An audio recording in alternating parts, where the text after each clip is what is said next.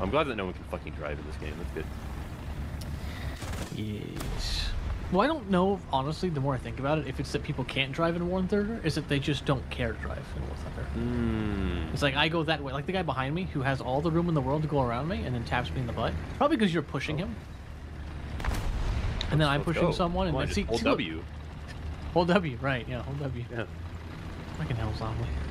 Dave, come on. We're the You same can't, you can't complain. Yeah, you, with the same tank and you're spaded, you ass. Deja vu, I just been in this place I- before. Higher on Class 3P. What is that thing? And why is he driving like that? I have no idea. Speaking of driving, Speaking of holding keys, like he's moving his turret, but now he finally thinks, oh, I should come off W now. yeah, he's, he's doing his best. His best blows.